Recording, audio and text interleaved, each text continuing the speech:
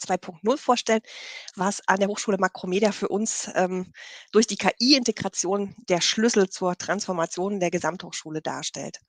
Wir werden heute ähm, Einblicke geben in die Basis, wo das herkommt, in das, was wir zurzeit tun und auch so ein bisschen in welche Richtung wir gehen wollen. Wir, das sind Joschka Mütterlein, unser Vizepräsident für Lehre und Professorenentwicklung, Elisabeth Sandau, Sando, unsere Head of Learning Management Systems bei der GGEG, e das ist die Global ähm, äh, Education Galileo, Galileo Global Education Group Germany, zu der wir gehören als Makromedia. Und mein Name ist Evelyn Kästner. Ich ähm, bin Dekanin der Fakultät für äh, Kulturmedien und Psychologie. Und die vierte im Bunde ist heute leider nicht mit dabei. Das ist die Tamara Ranner, die verantwortet als Head of Blended Learning und Online unsere äh, Content-Entwicklung ähm, im Blended Learning-Bereich. Die ist gerade auf der Emma und präsentiert zeitgleich, kann deswegen also nicht dabei sein. Also nochmal herzlich willkommen. Wir freuen uns auf den Vortrag.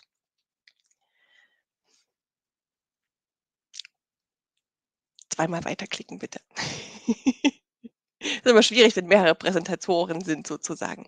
Ähm, ich möchte zunächst erst einmal einen kurzen kleinen Hintergrund darüber geben, wer wir eigentlich sind, wer die Hochschule Makromedia ist, wie wir aufgebaut sind, weil das so ein bisschen auch die Grundlage dafür ist, warum wir uns mit einem solchen Digitalisierungs- und KI-Projekt überhaupt beschäftigen. Die Hochschule Makromedia ist eine Multicampus-Hochschule in Deutschland. Das heißt, wir haben nicht einen Standort, sondern haben zehn verschiedene Standorte. Es kommen jetzt äh, zum Wintersemester weitere dazu. Ähm, wir sind aber eine Hochschule. Das heißt, ähm, wir unterrichten die gleichen Studienprogramme an allen Standorten. Die Studierenden sind alle der Gesamthochschule zugeordnet. Die ProfessorInnen, von denen wir ungefähr 140 haben, ebenfalls. Ähm, und äh, dieses, dieses Paradigma dieser Multicampus-Hochschule hat uns schon sehr früh dazu gebracht, über Blended Learning nachzudenken und ähm, das auch umzusetzen, weil wir natürlich nicht nur campusspezifisch lokal unterrichten können, sondern unsere Synergien, unsere Expertisen, die wir an der Hochschule haben, natürlich auch übergreifend und zentral gerne nutzbar machen wollten. Deswegen haben wir ähm, vor mittlerweile schon fünf Jahren, es war vor, vor Corona, haben wir damit angefangen, ein Didaktikkonzept entwickelt und ihm den schönen Namen Empower gegeben, weil wir unsere Studierenden und auch unsere Lehrenden damit empowern wollten, eine gute äh, Blended Learning Lehre ähm, zu machen. Dieses ähm, Didaktikkonzept, was wir entwickelt haben, gibt den Rahmen vor, mit dem wir analoges und digitales Lernen so kombinieren, dass es mit Blick auf die Lerninhalte, auf die Lernziele ein didaktisch sinnvoller Mix ist. Ähm, Im Wesentlichen besteht es darin, dass wir drei unterschiedliche Durchführungsformen unserer Lehre identifiziert haben, die in Abhängigkeit von den Lernzielen, von den Kompetenzniveaus zu erreichen sind und von den Inhalten dann äh, eben so einplanen, dass die Studierenden einen sinnvollen Mix haben. Das heißt, die haben ein bisschen Selbstlernaktivitäten, äh, die haben äh, virtuelle Kontaktzeit und die haben eben natürlich auch On-Site-Sachen. Das Ganze funktioniert nur, wenn wir ein zentrales System haben, und das haben wir aufgebaut mit Blackboard, was wir später auch noch vorgestellt bekommen werden, äh, was wir nutzen können, wenn wir ein solches zentrales System haben, in dem Inhalte zumindest erstmal digital da sind, verfügbar sind, bearbeitbar sind und ähm, Studierende auch interaktiv über die Campus hinweg miteinander und mit den Dozierenden und mit den Lehrenden in Austausch treten können. Ähm, das ist die Basis, die wir hatten. Wir sehen das hier nochmal in, in der Kombination. Ähm, ganz üblicherweise haben wir die gleichen Lehrformate wie alle anderen Hochschulen auch. Wir haben Vorlesungen, Übungen, Seminare und Workshops. Und nach bestimmten Kriterien können die eben in diesen drei Durchführungsformen umgesetzt, geplant und durchgeführt werden und eben so eine sehr gute Blended Learning Erfahrung an der Hochschule Makromedia ähm, erreichen. Wir sind für diesen Ansatz, der natürlich ähm, genauso auch für die Planungsseite, für die Service-Seite von Relevanz ist, der für die IT-Seite von Relevanz ist und der insbesondere natürlich für die akademische Seite von Relevanz ist, ähm, jetzt erst kürzlich mit dem Excellence in Digital Teaching Award ausgezeichnet worden, was uns sehr freut. Ähm, aber natürlich wollen wir auch weitergehen. Wir wollen nicht nur mit einem guten digitalisierten Blended Learning Didaktikkonzept äh, arbeiten, sondern wir sehen auch die Notwendigkeit, dass ähm, wir weitere Synergien, weitere Effizienzpotenziale, weitere Nutzen, Zusatznutzen auch ähm, heben können, wenn wir hier künstliche Intelligenz in dieses Modell in, äh, integrieren. Und deswegen haben wir das, das äh, Projekt äh, Empower 2.0 aus der Taufe gehoben und sind jetzt eben dabei, das Stück für Stück und in vier verschiedenen Ebenen einzuführen. Diese vier Ebenen würde ich ganz kurz nochmal anreißen, bevor wir dann im Einzelnen äh, im Detail darauf eingehen.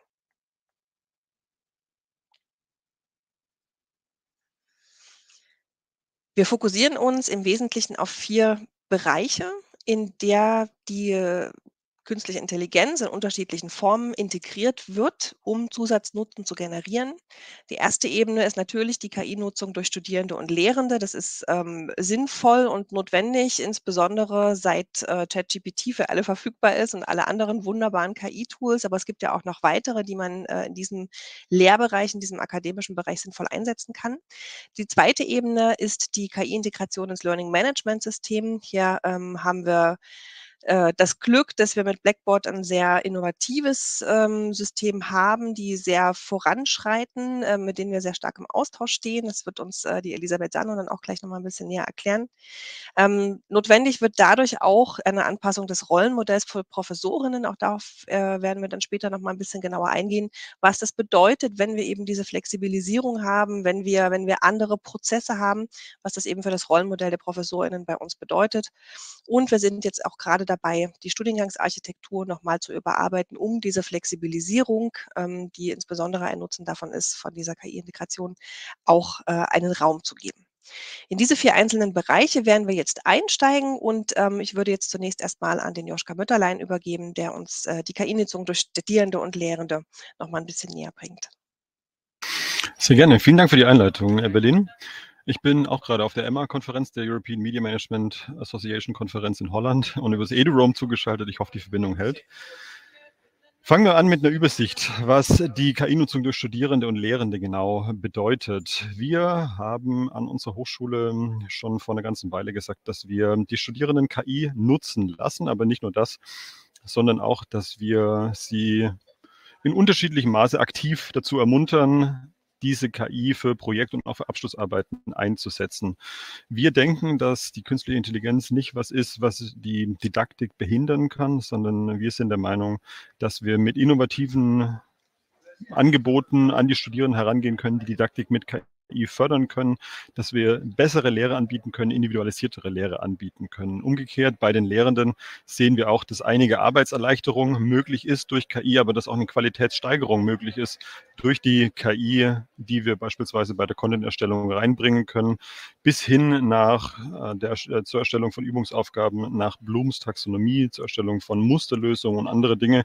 Natürlich muss man in diesem Zusammenhang, wenn es um Bewertungen geht, immer aufpassen, dass wir nicht zu sehr ins die Bewertung, in die automatisierte Bewertung von Studierenden reingehen. Deswegen auch der Hinweis, Achtung, EU AI Act, weil wir hier in der Bildungsbranche in einer Hochrisikobranche unterwegs sind, was den AI Act angeht und wir hier sehr vorsichtig sein müssen, wie wir die Studierenden einbinden. Also es muss ein sehr umsichtiger KI-Ansatz sein, aber den wollen wir den Studierenden und Lehrenden zugutekommen lassen. Und das machen wir ganz konkret, wie auf der nächsten Folie dargestellt. Was haben wir denn gemacht? Wir haben schon uns länger mit beschäftigt, wie die Entwicklung bei KI sind. Wir haben auch IT-Studiengänge, die die Entwicklung beobachtet haben. Und nachdem ChatGPT veröffentlicht wurde Ende 2022, haben wir direkt im Präsidium eine Entscheidung herbeigeführt, dass wir den KI-Einsatz fördern wollen und den auch in konkrete Prüfungsregularien überführt für das Sommersemester letztes Jahr 2023, dass der Einsatz von KI nicht nur erlaubt ist, sondern nach klaren Regularien möglich ist und gefördert ist. Und natürlich sagen wir das nicht einfach so, sondern wir haben dann auch Workshops angeboten für Studierende, für Lehrende. Und wir haben uns Gedanken gemacht, was bedeutet es, wenn wir die Didaktik verändern? Denn Didaktik ist das Herz der Hochschule. Und wer die Didaktik verändert, der verändert auch, wie die Hochschule insgesamt funktioniert. Und das bedeutet, wir müssen Strukturen betrachten, wir müssen Studiengänge betrachten, wir müssen schauen, wie Lehrende und Studierende interagieren, aber auch, was denn die Rollen der jeweiligen Personen sind. Und das sind dann Komponenten, die in diesem Puzzle, das Evelyn vorher gezeigt hat, so ineinander greifen und die wir jetzt auch noch vorstellen werden. Auf Basis der Erfahrung im Sommersemester haben wir dann den KI-Einsatz auch verpflichtend gemacht für manche Module, aber da kommen wir gleich noch dazu. Jetzt erstmal die Frage, was passiert denn, wenn man KI erlaubt? Also falls Sie hier als Aktivzuhörende oder später auf YouTube sich das angucken und an einer Hochschule tätig sind, äh, die sich denkt, KI sollten wir auf gar keinen Fall einsetzen, weil unsere Studierenden damit nur seltsame Dinge tun, die gar nichts mehr lernen und sowieso die Studierenden äh, nur KI zum Schummeln nutzen. Sie werden wahrscheinlich überrascht sein von dem, was sie gleich hören und äh, wir natürlich auch in einem White Paper verarbeitet haben. Der Link ist oben auf dem Slide. Äh, Elisabeth hat schon in den Chat gestellt. Vielen Dank, Elisabeth. Also wir haben nach dem Erlauben von KI für die Studierenden und nach der Veröffentlichung von Regularien, wie KI genutzt werden kann, reflektiert und transparent genutzt werden kann, sodass wir das auch bewerten können, haben wir über 10.000 Projektarbeiten und fast 600 Bachelorarbeiten analysiert und dabei haben sich fünf Kategorien von Studierenden ergeben, die so die Arten aufzeigen, wie Studierende KI nutzen. Die erste Kategorie sind die Zögerlichen, die die KI für sich nicht nutzen aus unterschiedlichen Gründen. Der Hauptgrund ist der Aufwand, der dahinter steckt, ist für den Studierenden, für die Studierende individuell nicht höher als der tatsächliche Nutzen. Die pragmatischen nutzen KI beispielsweise zum Korrekturlesen, lassen mal eine kleine Sprachkorrektur drüber laufen, auch zum Übersetzen, aber in sehr kleinem Maße. Dann gibt es die Innovativen, die die KI in großem Maße nutzen, die komplette Textpassagen erstellen lassen, beispielsweise Abbildungen erstellen lassen was wir aber auch haben, sind immer noch, obwohl KI erlaubt ist, die Schummler, die versuchen, den Einsatz von KI zu kaschieren, auch wenn er erlaubt ist.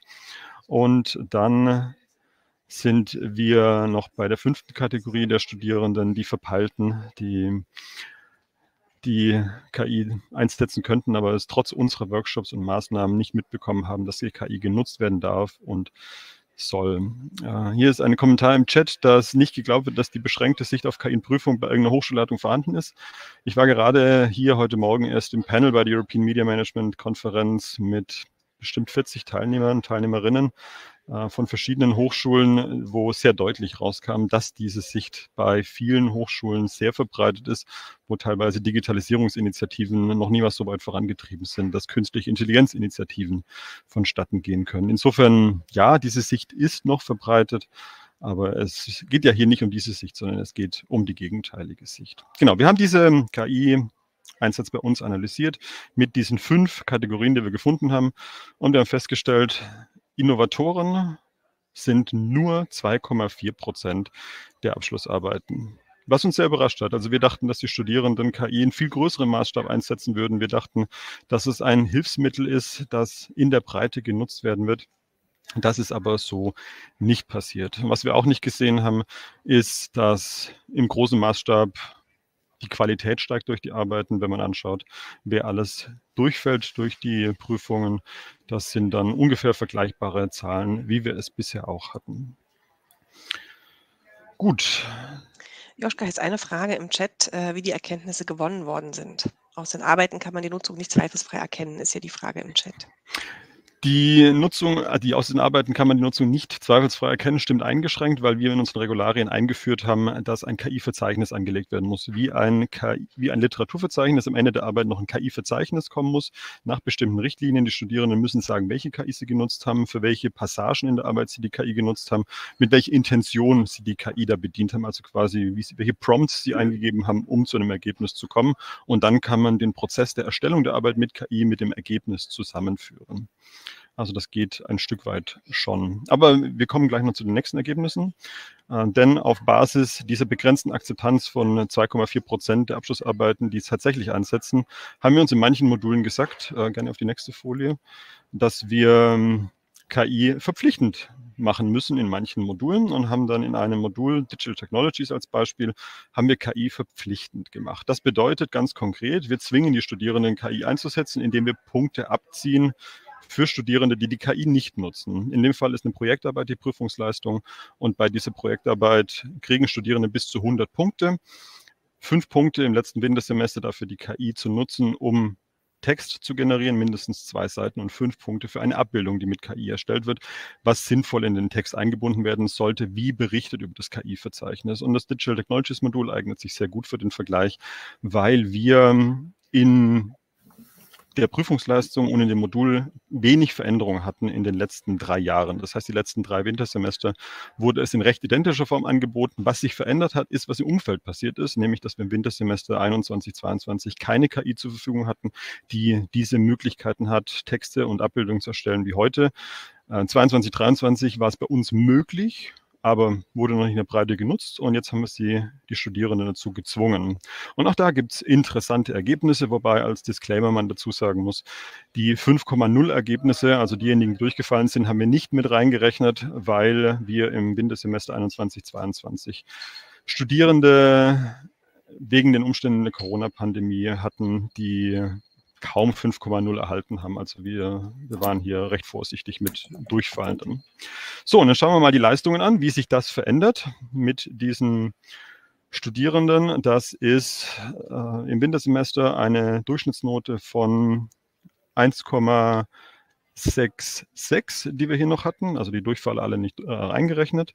Dann mit KI möglich, aber noch nicht gezwungen, 1,62. Und wenn man die Studierenden zwingt, KI einzusetzen, bleibt die Note, die rauskommt, quasi konstant. Also wir sehen hier keinen Einfluss von KI-Nutzung auf die Qualität der Arbeiten, wie gemessen durch, den, durch die Abschlussnoten, die die Studierenden bekommen. Was wir allerdings sehen, ist, dass die Studierenden die Akzeptanz von KI deutlich verbessert haben. 72 Prozent der Studierenden haben KI genutzt. Man könnte es aber auch negativ darstellen und sagen, 28 Prozent unserer Studierenden verlieren lieber 10 von 100 Punkten, als die KI zu nutzen. Und das, obwohl es in der Veranstaltung um künstliche Intelligenz in einer Vorlesung geht, obwohl wir drei Übungseinheiten gemacht haben zu dem Thema, wie die Projektarbeit zu erstellen ist und eine dieser Übungseinheiten sich mit Prompting beschäftigt hat, also live vor Ort unter Anleitung hätten die Studierenden hier die KI für ihre Projektarbeit einsetzen können. Unter diesen Umständen verzichten trotzdem noch fast ein Drittel der Studierenden lieber auf die Punkte, als KI zu nutzen. Und das zeigt sehr, sehr deutlich, dass wir hier Nachholbedarf bei Studierenden haben, dass KI kein Wunderwerkzeug ist, das die Didaktik in der Masse einfach so verändern wird, sondern wir müssen hier als Hochschulen uns Gedanken machen, wie bringen wir dieses Werkzeug, denn das ist es an unsere Studierenden so wie alle anderen Werkzeuge auch und das braucht neue didaktische Ansätze. Wer diese Dinge nachlesen möchte, sieht die detaillierten Methoden und Ergebnisse im White Paper, da sind auch noch weitere Ergebnisse drin. Hier der Link und im Chat ist schon der ähm, der detaillierte Link drin. Das sind auch ein paar Fragen, die jetzt im Chat gestellt wurden, werden sich auch da über das White Paper erklären mit Blick auf die Zeit äh, würden wir jetzt auch vorschlagen, dass wir tatsächlich noch ein bisschen durch die Präsentation gehen und am Ende dann gerne nochmal die Fragen auch aufgreifen. Genau, an der Stelle würde ich jetzt übernehmen. Ähm, und zwar würde ich hier einmal kurz den äh, sogenannten AI Design Assistant von Blackboard Learn Ultra vorstellen. Ähm, Elisabeth Sando, Head of Learning Management Systems und ein solches ist Blackboard Learn Ultra ähm, ist vielleicht hier ups, nicht so bekannt, ähm, aber das ähm, ist äh, im angloamerikanischen Raum sehr verbreitet. Ähm, das, was man hier vielleicht als Moodle oder Elias oder ähnliches kennt. Ähm, wir hatten äh, im August 23 die ersten offiziellen Releases mit dem AI Design Assistant in Blackboard. Äh, es ist nicht so, dass wir vorher nicht schon Funktionen drin hatten, aber da war dann äh, es soweit, dass sie dem Schätzchen auch einen Namen gegeben haben und ähm, eben uns die erst, das erste Mal wirklich gesagt haben, hier, das sind die Funktionen, die wir jetzt haben. Ähm, es hat sich, man hat sich da viel Zeit genommen, ähm, auch dafür zu überlegen, wie ist unser Ansatz für künstliche Intelligenz, weil das ist ja nicht ganz ohne zu sagen, okay, wir erstellen Inhalte mit künstlicher Intelligenz. Ähm, deswegen war hier, was uns das englische Zitat hier sagt, ähm, ganz wichtig, dass immer äh, die äh, Instructors, also die Lehrenden äh, also im, äh, ja, in Control sind, dass äh, die immer im Driver's Seat sitzen, also dass sie die sind, die tatsächlich die Kontrolle darüber haben und ähm, es vor allem darum geht, die Erstellung von Inhalten zu vereinfachen, ähm, es mehr, es spaßiger zu machen, es kreativer zu machen und ähm, so tatsächlich die Lehrenden zu unterstützen. Das heißt, der Ansatz war hier von vornherein so, wir nehmen nicht einfach irgendwelche Funktionen und die werden jetzt ganz schnell mit KI umgesetzt, weil KI kann ja jetzt alles, ähm, kann es nicht, wird es nicht und ähm, es gibt KI ja auch nicht erst seit November 22. Ähm, insofern war es ein interessanter Ansatz. Ähm, es wurde direkt begleitet mit äh, dem sogenannten Trustworthy AI Approach. Das heißt, äh, es gibt ein Board, das darüber entscheidet, welche Funktionen umgesetzt werden, wie sie Funktionen umgesetzt werden. Die Kunden von äh, Blackboard beziehungsweise Anthology, dem Besitzer der Besitzerfirma, ähm, entscheiden auch sehr stark mit oder nehmen großen Einfluss darauf. Und es war von vornherein so, dass eine, ähm, dass man sich an den gesetzlichen Vorgaben orientiert hat. Der, ja, der europäische AI Act war ähm, auch für diese amerikanische Firma von vornherein ähm, ein, ein entscheidendes Kriterium, logischerweise. Ähm, die Zusammenarbeit ist hier die mit Microsoft. Das heißt, was verbaut wird, ist tatsächlich äh, JetGPT, damals 3.5, inzwischen 4. Äh, es ist so, was gemacht wurde, ist, ähm, das Lernmanagementsystem zu erweitern um KI-Funktionen. Ähm, das heißt, man kann direkt im Lernmanagementsystem KI-Funktionen nutzen, um ansprechende Lehrinhalte zu generieren. Ähm, es steht noch nicht den Studierenden selber bereit. Und das ist auch eher eine Diskussion, ob es das soll oder nicht. Ähm, insofern hat man damit begonnen, das war das erste, die Self-Assessments, also kleine Quizze, Tests etc. zu erstellen und ähm, ist dann weitergegangen ähm, mit verschiedenen Funktionen. Ich habe das hier auch mal etwas aufgelistet. Das ist auch ungefähr zeitlich das, wie man angefangen hat. Ähm, es ist einmal ähm, der, der erste Schwung im August 23 war die automatische Erstellung von Tests, Quizzen, Self-Assessments, wie auch immer man es nennen möchte. Ähm, dann die äh, Rubriken oder Rubrics im Englischen können ebenfalls mit KI erstellt werden und auch eine Struktur innerhalb eines Lernmoduls kann mit sehr, sehr wenigen Informationen tatsächlich ein, äh, eine sinnvolle Struktur von Lernmodulen inklusive einer Beschreibung und einem Bild äh, mit ja, erstellen äh, wobei eben nicht Inhalte erstellt werden. Es ist nur die Struktur. Die ähm, ebenfalls mit in dem Paket war das Einbinden und Erstellen von Bildern mithilfe von KI, aber auch, und das ist weniger KI, ähm, es ist einfach eine Datenbank, eine freie mit integriert worden, wo man sich die Bilder aussuchen kann. Ich glaube, das wird stärker genutzt. Im äh, letzten Dezember, äh, also ja, 23 war das, ähm, auch ähm, wurden Diskussionen und ähm, sogenannte Aufforderungen für Tagebücher, also Journals oder vielleicht auch bekannt als E-Portfolios, äh, können jetzt auch mithilfe der KI erstellt werden. Die, ähm, und was dann direkt folgte, waren die Kontextauswahl. Da werden wir gleich kurz was sehen. Äh, man kann eben schon sagen, nicht nur bitte sag mir was zu diesem Thema, sondern man kann auch sagen, bitte erstell mir jetzt etwas auf Grundlage dieses Dokuments, das ich hier in Blackboard habe. Und diese Kontextauswahl funktioniert genauso für Lernmodule, für ähm, Aufgaben, Aufgaben im Sinne von ähm, äh, wirklich Übungen, äh, genauso auch Diskussionen und Tagebüchern und auch eine Sprachauswahl gibt es inzwischen, so dass man sagen kann, erstelle die Fragen in Latein. Ich glaube, Latein ist gerade nicht dabei. Wie sieht das dann aus? Ähm, das sieht so aus. Ich habe hier einen, einfach mal kurz das ein bisschen gezeigt. Ähm, die, äh, man wird sich das später auch noch zoomen können. Ähm, es ist so, wir haben äh, eine Möglichkeit, die Fragen zu erstellen. Man kann eine kleine Beschreibung reinmachen. Man kann sagen, auf welcher Grundlage, welchen Kursinhalten das erstellt werden soll, welche Fragentypen genutzt werden sollen oder eben auch, ähm, welche Komplexität das haben soll. Da gibt es eine Aufschlüsselung für, wie viele Fragen und auch der Output und die Output Language kann ich mir erstellen. Und dann werden, ähm, also hier sieht man nochmal, wie ich mir wirklich was suchen kann, welche Inhalte das sein sollen und dann werden am Ende eben Fragen daraus erstellt. Genauso funktioniert das auch bei Aufgaben. Was man hier jetzt nochmal ganz schön sieht, ist, dass es eine kognitive Ebene gibt, die ich auch ähm, mir entweder aussuchen kann oder man macht es wie ich und lässt sich einfach nur inspirieren. Ähm, das ist für uns sehr wichtig, so dass man da auch weiterhin eben in der Blumschen Taxonomie weiter arbeiten können. Damit bin ich durch. Dankeschön. Dann an, angesichts der Zeit, eine Minute je Slide, machen wir mal ganz schnell noch das Rollenmodell der Professorinnen.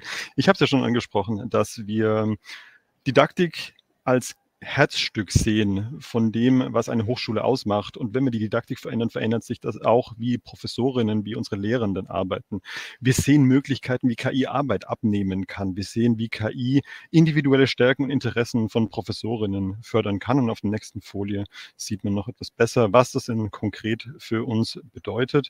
Nämlich, wir haben bisher relativ detaillierte Regelungen zum Anteil der Arbeitszeit, der auf bestimmte Teile verwandt werden soll. So eine Art idealtypisches Rollenmodell von Professorinnen und das wollen wir flexibilisieren, weil wir jetzt die Möglichkeit haben durch unseren KI-Einsatz. Wir können Dinge automatisieren, denn äh, Professorinnen werden von Lehrenden eher zu Coaches, können administrative Aufgaben abgeben, Aufgaben in der Content-Erstellung abgeben und bekommen KI-Assistentinnen an die Hand, mit denen sie äh, Arbeitserleichterung bekommen, wo sie Dinge auslagern können und mehr Zeit für die Studierenden, für die Lehrenden, für Forschung, Wissenstransfer haben, was auch immer und das ist der nächste Punkt. Es geht nicht mehr darum, dass ein Professor, eine Professorin alles möglichst im vollen Umfang macht, sondern wir hier ein äh, Portfolio an Professoren an einer Hochschule haben, die gemäß ihrer individuellen Stärken und Interessen Dinge tun können. Und da wollen wir hinkommen. Gleichermaßen wollen wir das auch bei den Studierenden anbieten, diese Flexibilisierung und Individualisierung. Wir haben deshalb vor einem Jahr gestartet äh, ein großes anderes zweites Projekt, was sehr stark damit äh, zusammenhängt, nämlich die Studiengangsarchitektur dahingehend zu arbeiten, dass wir nicht mehr, äh, nicht mehr nur vorgegebene Studienrichtungen innerhalb eines Studienganges haben, wo die Studierenden sich von vornherein festlegen müssen, sondern dass wir ihnen ähm, im Rahmen der Möglichkeiten viele mögliche Electives anbieten, ähm, je nach Interessenlage, die sie entweder spezifisch für eine Studienrichtung auswählen können oder aber, wenn sie ein breiteres Interesse haben, eben auch in andere Studiengangsmodule mit reinschauen können. Deswegen ist es aber besonders wichtig, dass wir schauen, dass ähm, die Inhalte auch aufeinander aufbauen, dass Studierende, die aber eben nicht diesen Aufbau haben, sondern sich Electives frei wählen, trotzdem die Möglichkeit bekommen, individuell unterschiedlich, multimodal mit den Inhalten zu arbeiten. Und an der Stelle wird uns KI enorm helfen, andere Lehrformate auch zu entwickeln, also ähm, Lehr-Lernmittel zu entwickeln, ihnen einen anderen Zugang zu den gleichen Inhalten zu ermöglichen und ähm, damit diesen, diese Flexibilisierung und Individualisierung des Lernprozesses eben auch auf der Studierendenebene mit dieser Studiengangsarchitekturreform umzusetzen. Das war jetzt sehr, sehr kurz, aber vielleicht auch nochmal eine, eine gute ähm, Zusammenfassung, dass es eben auf unterschiedlichen Ebenen gut passiert um es noch zusammenzufassen äh, in den letzten Sekunden, ähm, wir glauben, äh, dass unser Projekt Empower 2.0 ähm, nicht nur eine technologische Innovation ist an der Hochschule, sondern tatsächlich auch die Nachhaltigkeit unserer Gesamthochschule prägen wird. Wir haben als Mission, und zwar auch schon äh, vor diesem Empower 2.0 Projekt, uns vorgenommen, dass wir unsere Studierenden für eine Sustainable Future ähm, empowern wollen. Das heißt, wir wollen sie natürlich auch äh, hinsichtlich ihrer Employability empowern, wirklich auch KI-Kompetenzen Kompetenzen im Studium entwickeln zu können, unter Anleitung und eben diesen reflektierten Umgang mit KI-Tools auch wirklich mitzunehmen. Und gleichzeitig wollen wir als Hochschule ähm, innerhalb der Global Galileo ähm, Education Group auch Pionier äh, für, für Education sein und möchten hier in, äh, wirklich vorangehen und neue Dinge auch ausprobieren ähm, im Rahmen aller legalen äh, Rahmen, den wir natürlich haben, wie es jetzt im Chat auch nochmal betont wurde. Ähm, wir haben hier eine Vorreiterrolle innerhalb der Gruppe übernommen, was die KI-Integration betrifft. Auch darüber hinaus, auch international, wie der Joschka Mütterlein uns gerade berichtet hat, ähm, sind natürlich aber auch noch im Prozess. Das heißt, ähm, wir sind sehr zuversichtlich, dass das äh, ein ganz tolles Projekt wird und ähm, freuen uns auf Ihre Fragen und danken Ihnen für Ihre Aufmerksamkeit.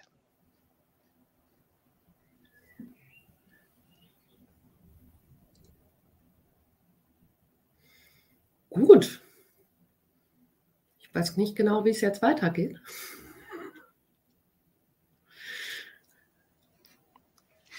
Wir haben auf jeden Fall den Hinweis, you are out of time. Insofern sind wir durch mit ja. der Präsentation. Wir haben für viele Dinge, die noch gefragt werden können, haben wir das White Paper.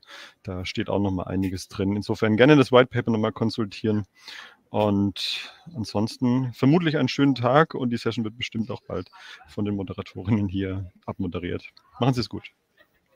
Herzlichen Dank. Tschüss.